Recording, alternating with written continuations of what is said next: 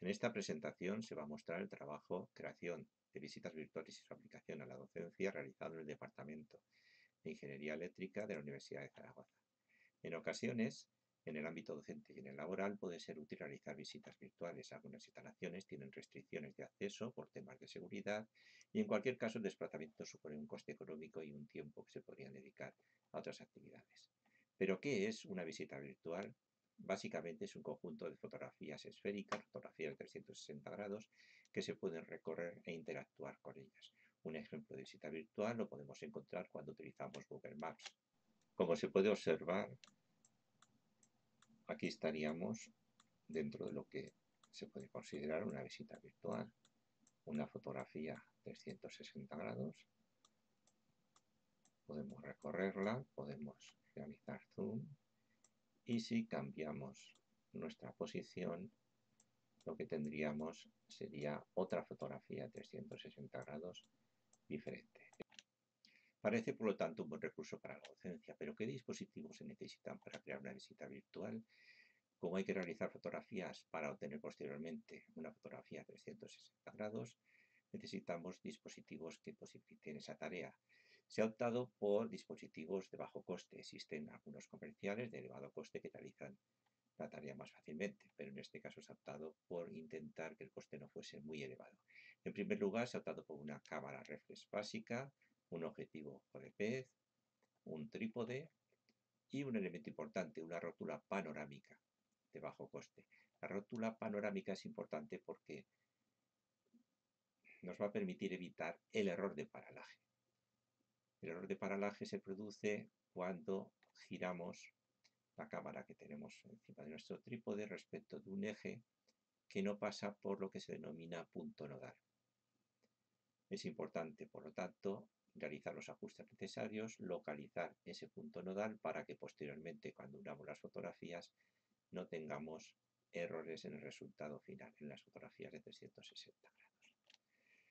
Para realizar las fotografías es necesario que hagamos tantas como necesitemos con el fin de que la calidad final sea lo suficientemente elevada como para que las fotografías de 360 grados no presenten errores. Además, es recomendable que se tomen las fotografías en formato RAW para poder así corregir posteriormente los errores que detectemos. Para unir las fotografías y obtener la fotografía de 360 grados es necesario utilizar varias herramientas. Es recomendable corregir en primer lugar los errores que detectemos. Para ello se puede utilizar, por ejemplo, la herramienta Darktable que trabaja con el formato RAW y además posteriormente nos permitirá transformar dichas fotografías a formato JPEG. Posteriormente hay que unir las fotografías para obtener las fotografías esféricas de 360 grados y en este caso hemos optado por el programa Hugging que es totalmente gratuito y que realiza correctamente el trabajo como se puede mostrar en la imagen.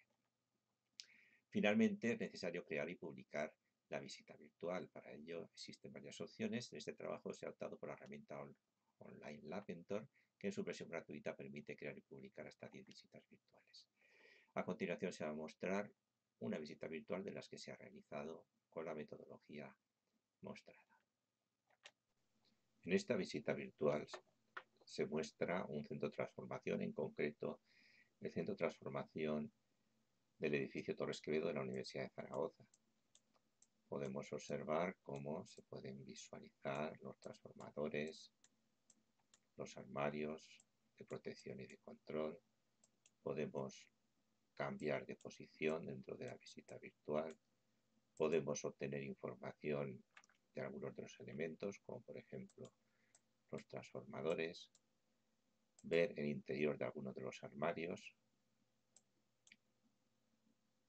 y también podemos, en este caso, desplazándonos, movernos hasta, hasta otra zona de lo que sería el centro de transformación. Por último, las conclusiones que se han alcanzado de realizar este trabajo son las siguientes. Se pueden realizar visitas virtuales sin necesidad de una inversión elevada en equipos o programas. Las visitas virtuales pueden aplicarse tanto en el ámbito docente como en laboral, pero eso sí, es necesario invertir tiempo para aprender a manejar correctamente los dispositivos y las herramientas informáticas necesarias. Gracias por su atención.